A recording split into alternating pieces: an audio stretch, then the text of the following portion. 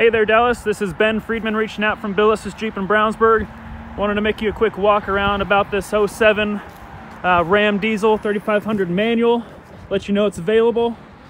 Uh, this thing runs like a champ. I know it's a little beat up, but hey, it's been used. Um, and uh, it's got a little character, of course. But uh, if you're looking for a cheap diesel, maybe pull, pull a trailer or something like that, uh, this might be the one for you.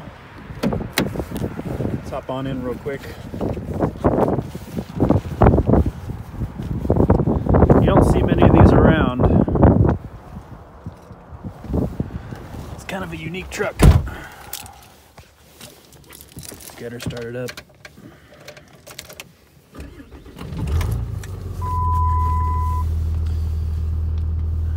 Like I said, this thing drives real well. You know, all things considered, with uh, 252,000 miles, it's been taken care of pretty well.